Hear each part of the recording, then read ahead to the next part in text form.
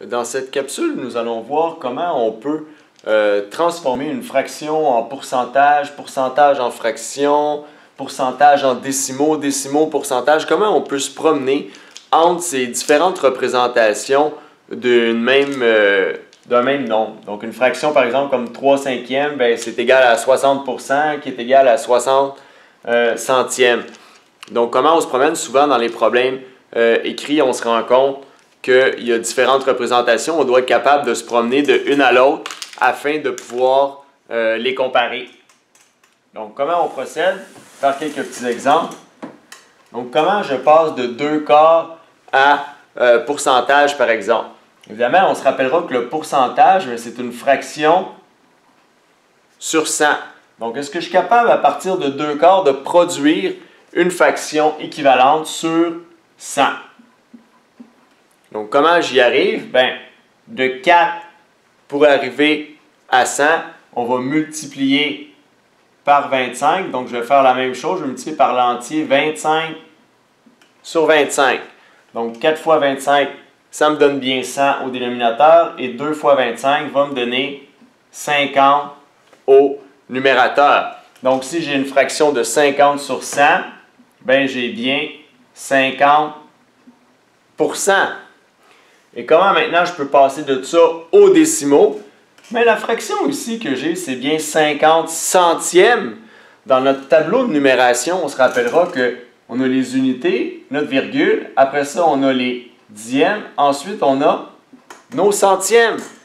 50 sur 100 ou 50 centièmes, ben, on les a nos centièmes ici. Alors, on va venir positionner 50 centièmes et on va obtenir notre nombre décimal 0,5 dixième ou 0,50 centième. On procède de la même façon, par exemple, pour 12 quarantièmes. Là, ici, il y a une petite subtilité parce que 12 quarantièmes, si j'essaie d'amener ça fraction sur 100, bien 40 jusqu'à 100, ce n'est pas nécessairement très évident. Donc, comment on va faire? Bien, on va pouvoir réduire cette fraction-là. Par exemple, si je la divise par 2, en haut et en bas, donc 12, ça va devenir, on va enlever ça ici, ça va donner 6 sur 20. Et maintenant que j'ai 6 vingtièmes, et là, ça devient beaucoup plus facile de se rendre sur 100. Donc, fois 5, fois 5, donc multiplié par 5 sur 5, l'entier, 100, 6 fois 5, 30 centièmes, donc 30% Et si je veux positionner ça pour avoir un nombre décimal, ben 30 centièmes, mes unités, virgule, dixième, centième. Je viens positionner 30 centièmes, donc 30, 30 centièmes, la virgule, 0,3. Donc voici comment on se promène d'une fraction à un pourcentage à un nombre décimaux. Dernier petit exemple, évidemment, on n'est pas obligé de partir avec la fraction. On peut très bien avoir un pourcentage qu'il nous faut ramener en fraction ou en nombre décimaux. Évidemment, pour ramener en fraction 84% en fraction, ben, rapidement, on va obtenir 84 sur 100. Fraction que l'on peut réduire pour la comparer, par exemple, avec d'autres fractions. Donc, on pourrait la diviser par 2 pour obtenir des cinquantièmes, on pourrait la diviser euh, par 4 sur des 25e. Donc, différentes opportunités. 84 sur 100, on peut nommer ça 84 centièmes.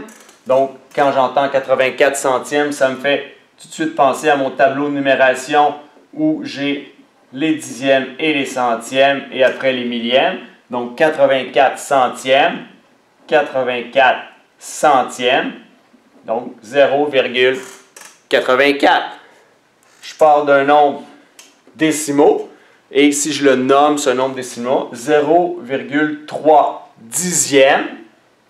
si on vient avec nos unités, nos dixièmes, on peut même ajouter les centièmes.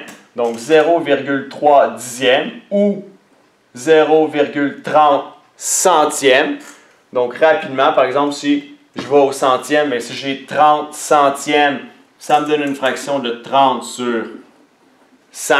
Et si j'ai une fraction de 30 sur 100, eh bien, ça va me donner un pourcentage de 30% Si j'avais dit, oh, j'ai 0,3 dixième, bien, je serais venu avec ma fraction 3 dixièmes, qui est une fraction équivalente à 30 centièmes. Pour retrouver mon pourcentage, j'aurais voulu avoir une fraction sur 100.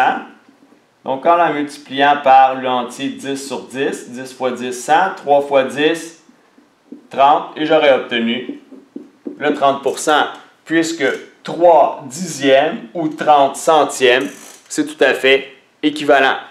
Alors, exercez-vous, essayez de passer d'une fraction à un pourcentage à un nombre décimal. Au besoin, revoyez cette vidéo pour avoir des exemples.